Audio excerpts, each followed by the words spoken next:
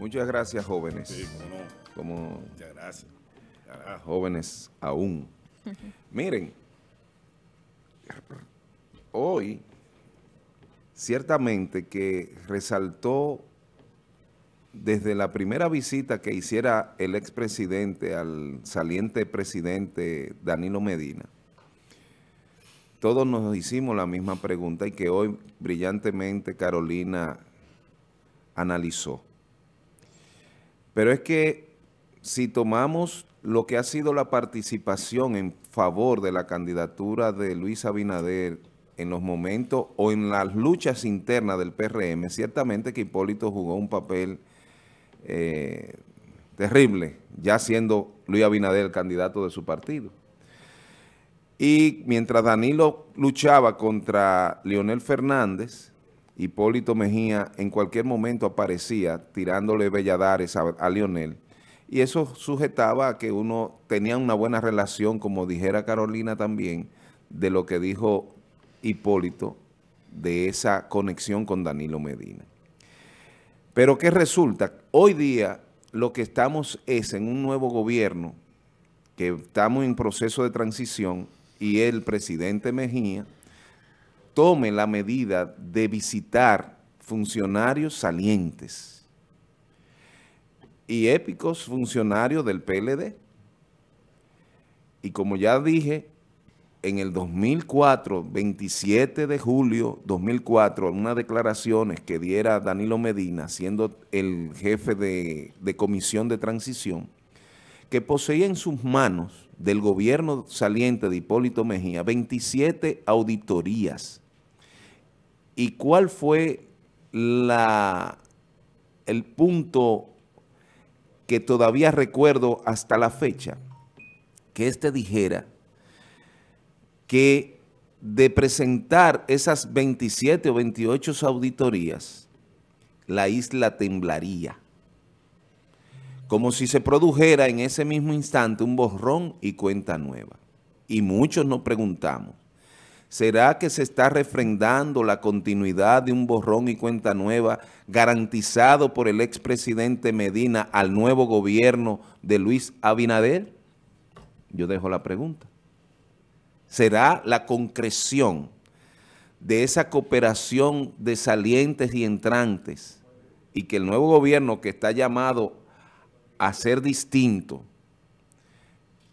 y a tener la voluntad de permitir que los organismos de investigación como la justicia hagan sus roles.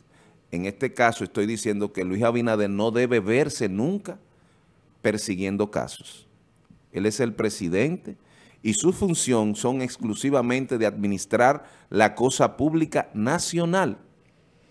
Por eso es que hay que saberle diseñar los momentos. Y como comentario, debemos tratar de que este gobierno no dé muestra de injerencia en ninguno de los estamentos y que pueda inteligir sus proyectos ante un Congreso más plural, más dividido, con cabezas pensantes, entonces, que logre el consenso para lograr las cosas, no que lo tenga todo. Esa es la aspiración, ¿verdad?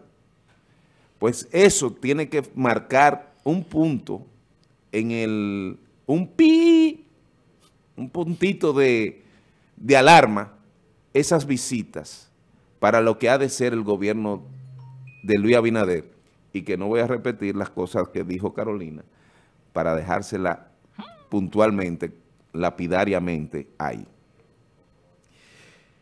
En otro orden, pareciera que el gobierno perdió el tino.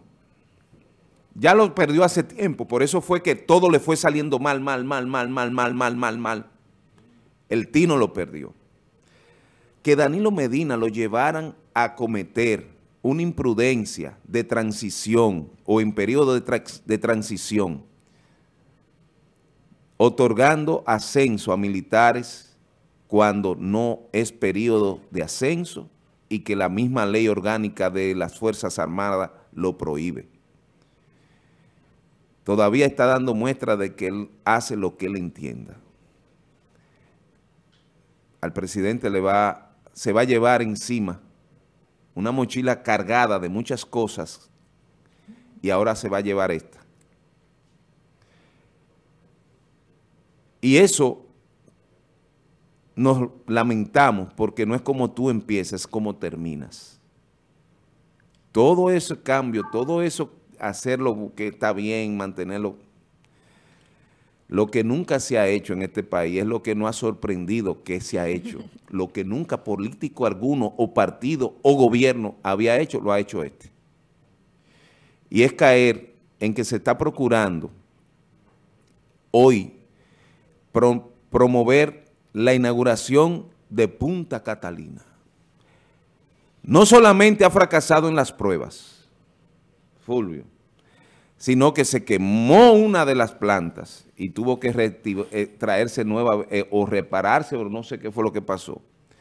Y de hecho no ha dado resultados. ¿Eres tú que dice que es el cuerpo del delito? Ese es el cuerpo del delito. Recuerda, Francis, que hubo que comprar... Punta Catalina es el cuerpo del delito del caso de este gobierno que está saliendo. Recuerda, Francis, que en una ocasión una turbina se dañó por mala instalación y hubo que comprar otra.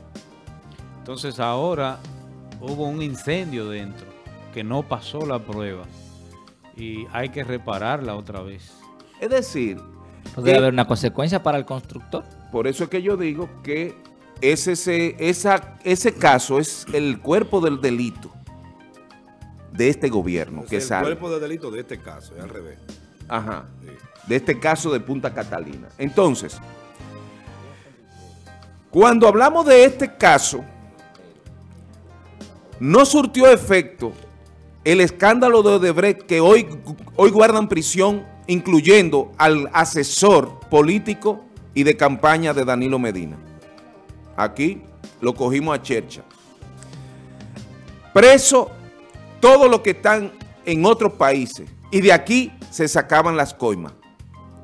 Y Punta Catalina fue el resultado de un grupito que para mí son unos sinvergüenzas, que avalaron una obra de 960 millones a, a lo máximo 140 esté todavía por los 5 mil. Y peor, construida en los terrenos arrendado de 5 millones de dólares a los Vicini. Que por eso Juan Vicini era el que reunía a todos esos empresarios y se le presentaba al gobierno cuando estaba el gobierno bien cuestionado, dándole apoyo a su gobierno. Claro que van a apoyar, si ustedes se están llevando todo y Danilo le ha entregado todo. ¿Tú sabes lo que es una obra construida con el dinero del pueblo dominicano que todavía se está llevando dinero? No está terminada y se está llevando todo. Y el escándalo más grande de corrupción. Y el escándalo más grande de corrupción por encima de todo lo hizo el presidente, por encima de todo el mundo. Señores, es como se termina, no como se comienza. Y ese será otro dolor de cabeza que nos va a dejar el gobierno saliente, de saber que está construida en terreno ajeno. No hubo una expropiación, no hubo una compensación, simplemente en terreno ajeno está construida, a un tiempo de 50 años. Y él lo dijo, yo quiero que me busquen después, yo lo voy a pedir que me lo busquen. ¿Qué dijo Danilo Medina? Que esta obra se estaría construyendo para ellos, para ese sector, que son los mismos dueños de la Congentry, que está pagada ahí en, San Pedro de Macorís, y el gobierno paga 5 millones de dólares mensuales apagada. Y es el único contrato que no ha podido abogado alguno en este país revertir la condición de contratante que, que, tiene el Estado para devolverle por lo menos sosiego a este país. Y eso es de los Vicini también. ¿Qué vaya a dar? Entregado el país en base al poder económico, gobernar un país sin importarle su pueblo, es lo más grave que yo me he encontrado dijo de Johannes, esta gestión. Dijo Johannesburgo una vez, un personaje que hacía boruga, que aquí, por eso es que aquí tiene que venir un comunismo que nos rompa todo. dijo Johannesburgo. Johannesburgo. Frase célebre. Sí.